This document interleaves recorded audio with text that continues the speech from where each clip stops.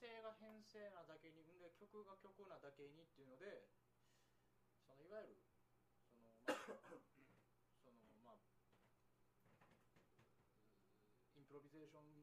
ミュージックを即興音楽まあ、そういうののまあ言うたらジャズとかソウル、まあ、そういうファンクとかずっとこう曲のある部分をこうねソロに使ったりいろいろそういうコード進行をわざわざまだ作ってソロしたりするんやけど編成が編成なだけにそういう形をまず取らない。取れない。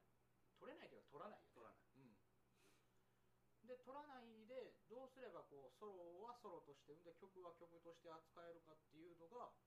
えーあそっか今今そう思いましたね。そのリハしてる時別にそんなこと考えてなくてどうどうすればこうそれぞれの良さが出るかとかうんってことをすごく考えてて、曲のタイトルうんもう最近あの貞岡さんがすごいシリアスに考えてることのうん。意味すごいあの曖昧に聞いてると思ってるかもしれないけど すごい自分の中ですごいあのそんなこと思ってないですよ。あのもしあの歌謡曲でよくうん。いっぱい歌詞並べてますけど、ほんまにそれ思ってないやろっていうところ、多多すぎるじゃないですか、うん。ね、そういう時にでなんでそう感じるかって言ったらうん。ドラムとかベースとか常に入ってるけど歌謡曲って、うん。あのそのなんていうかその音楽の明るい雰囲気とか、まあ、暗い曲もあるけどそういうのを、まあ、ずっと今まで流れで、うんまあ、音楽大正音楽の流れでそうやってるわけやからその歌詞がどうでもあのもしかしたらいきなりドラムとかがパッて消えたりしたらリズムとかが消えたりしたら、歌詞の歌詞っていうかその曲最初に思いついた曲を、うん。曲をほんまにあの生きさせるために曲の中身を生きさせるために、外見を生きさせるんじゃなくて、でもそれやったらすごいショッキングなことになってしまう場合がある、うんでもすごい心には伝わるけど、うんでもそういうのはあの佐藤岡さんが言ってるようなことで最近あの自分なりあれなんですよねこさんの曲とか「ラビット!」の曲とか、まあ、まあそういうビートルズの「カム・トゥ・ゲザー」とか「ベムシャスイング」とかって結構、まあ、言うたら誰だってやってる？誰だってやってるって変やけど近井さんだっていろんなとこでやってるわけでいろんな形があってでもすみんこう僕らがご機嫌やペン落としてみたら大丈夫でなんかこうこういうことをすると、まあ、例えば YouTube に動画流したりとかしましたやんか、であれでまあまあ多少なり これはちょっと。こう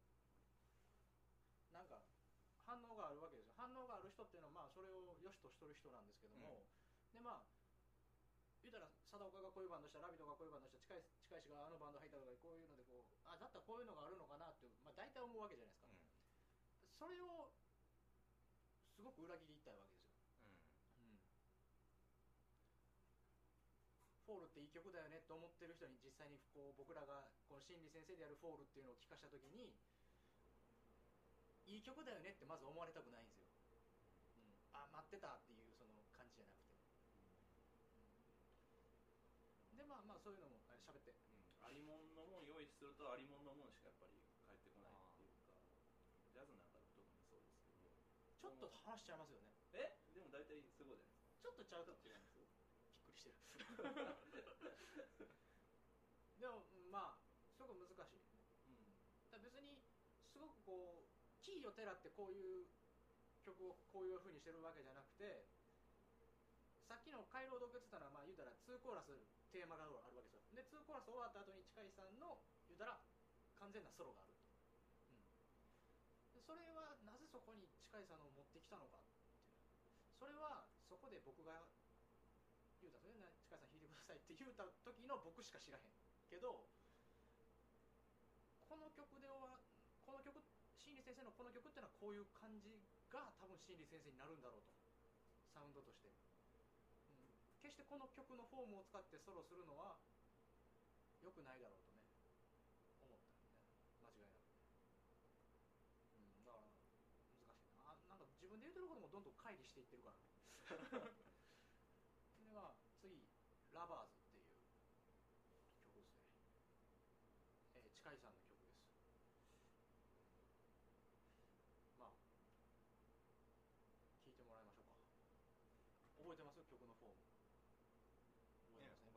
それからじゃないですか。